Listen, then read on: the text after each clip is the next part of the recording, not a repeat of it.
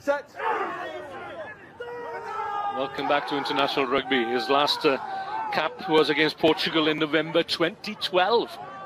Oh, lovely step from Arata. And this is what we know of uh, the Santiago Arata, a deadly attacker around the fringes. That's a great score, great individual effort uh, from the youngster who will join the Houston Sabercats for 2019. And they'll be absolutely delighted with this from their new recruit. Look at that.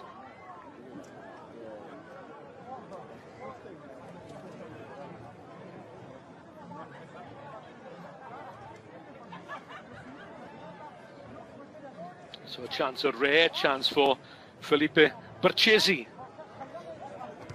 From in front of the post, so Uruguay uh, off the mark.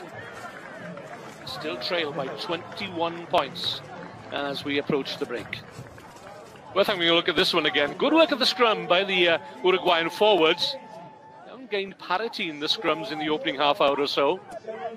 And that's exactly what Arata would have hoped for. A solid platform from which to work.